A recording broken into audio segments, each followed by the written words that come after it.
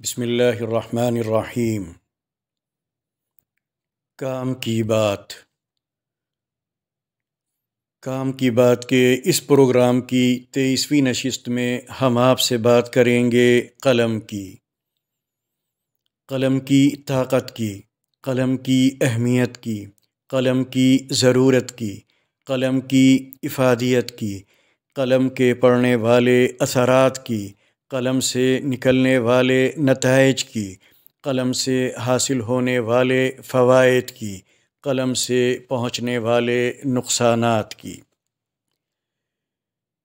ज़रा सोचिए, कलम का ज़िक्र कब हुआ? उस वक्त हुआ जब पहली वही का नज़ूल हुआ, जब आसमान से ज़मीन को एक पैगाम मिला, जब फ़ख्र कायनात मोहम्मद सल्लल्लाहु अलैहि वसल्लम को परवरदिगार आलम की जानिब से ये हुक्म हुआ। इक़रा बिस्म रब्बिकल्लज़ी खलक़, खलक़ल इंसान मिन अलक़ इक़रा व रब्बुकल अकरम अल्लज़ी अल्लम बिल कलम अल्लमल इंसान मा लम यअलम पढ़िए अपने परवरदिगार के नाम के साथ जिसने तख्लीक फरमाई। इंसान को मुंजमद खून से पैदा किया। पढ़िए, और आपका रब खूब नवाजने वाला और करम फरमाने वाला है, जिसने कलम को तालीम का ज़रिया बनाया और इंसान को उन तमाम चीज़ों का इल्म अता किया, जिनसे इंसान वाकिफ़ न था। अफसोस कि कलम की इस अहमियत को हमने नज़रअंदाज कर दिया।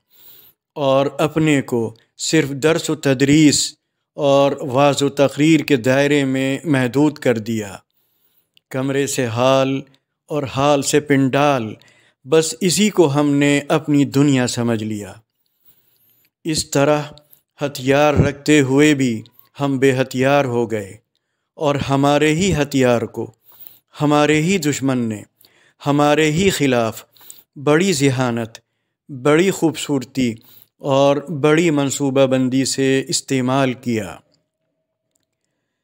अपनी सारी फ़ौजी ताकत के बावजूद, जब दुश्मन हमको ज़ेर न कर सका, जिस्मानी तौर पर हमको मगलूब न कर सका, वक्ती फतूहत और ज़मीन के किसी एक छोटे टुकड़े पर आर्जी कब्ज़े के अलावा उसे कुछ हाथ न लगा तो उसने कमाल होशियारी से वो हथियार इस्तेमाल किया, जिसने हमेशा उसका सर हमारे आगे झुकाया था और हमारे सामने उसको जान तलम मुस्तय करने पर मजबूर किया था।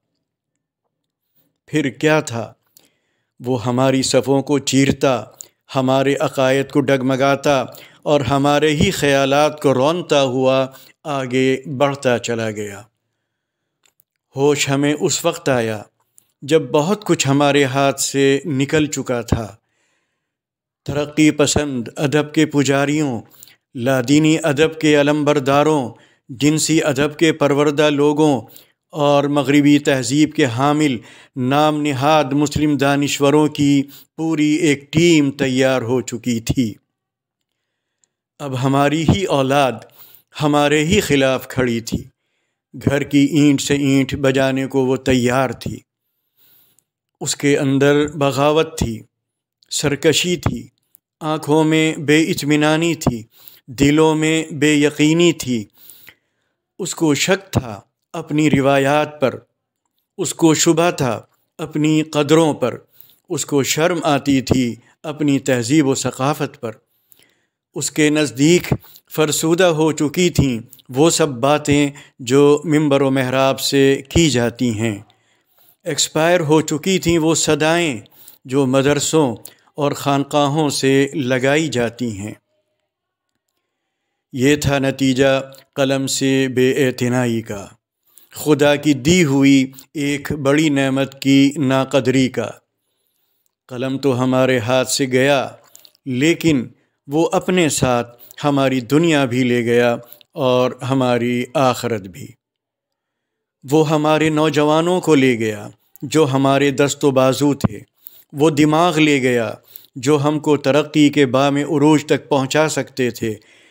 वो बासलाहियत अफराद ले गया, जो इस वक्त की मुतमद्दिन और तरक्की याफ्ता कौमों की हाशिया बरदारी से हमें आज़ाद करा सकते थे।